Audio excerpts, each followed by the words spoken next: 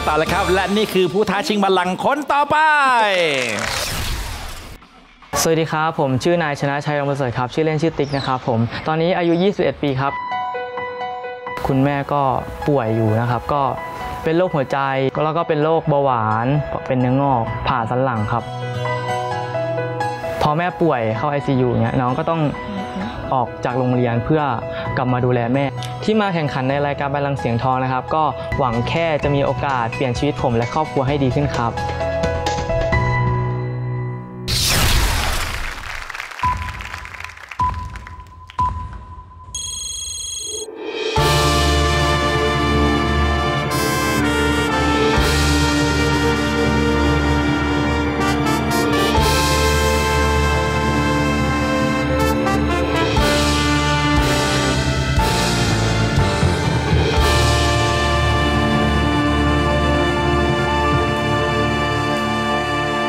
กรุงธนบุรีนามนี้ดังไปทั่วถิ่นสมเด็จพระเจ้าตากสิน ยิ่งใหญ่ป้องไทยเรื่อยมาเครือกก้องเกรียงไกรวงเวียนใหญ่ผ่านไปบูชา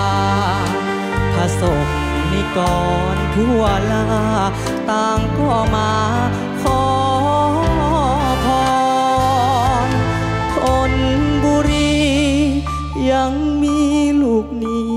คนหนึ่ง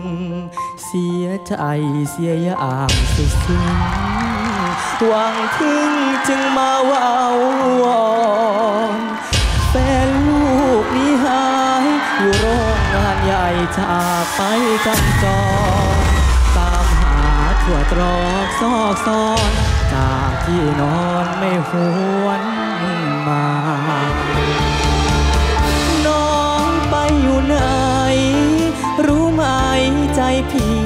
จะขา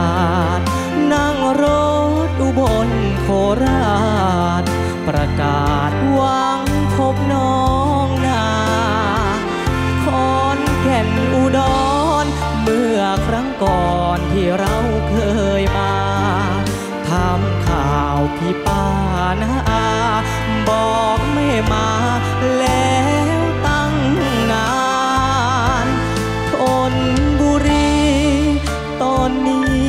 ใจลูกแทบสิ้น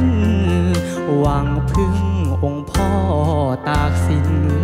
ให้แฟนคืนถิ่นสงสาร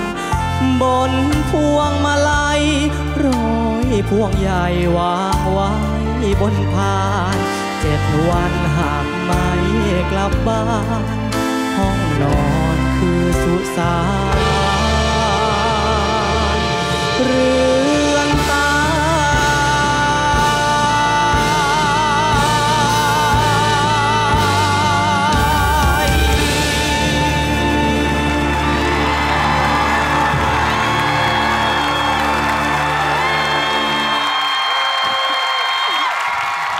มีข้อสังเกตที่น่าสนใจเกี่ยวกับติ๊กครับ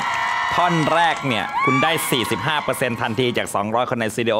แล้วหลังจากนั้นกรรมการก็ฟาดกันคนละป้าบป้าบป้าบป้าบผ่านกระแพง 75 แต่ 5%สุดท้ายไม่ได้จากคุณเอิญตื่นเต้นไหมคะ ตื่นเต้นนิดหน่อยครับนะคะก็เห็นถึงความตื่นเต้นของน้องค่ะ แล้วก็คิดว่าอยากจะให้น้องกลับไปซ้อมให้มากกว่านี้อีก รอบหน้าเจอกันใหม่ โชคดีนะคะ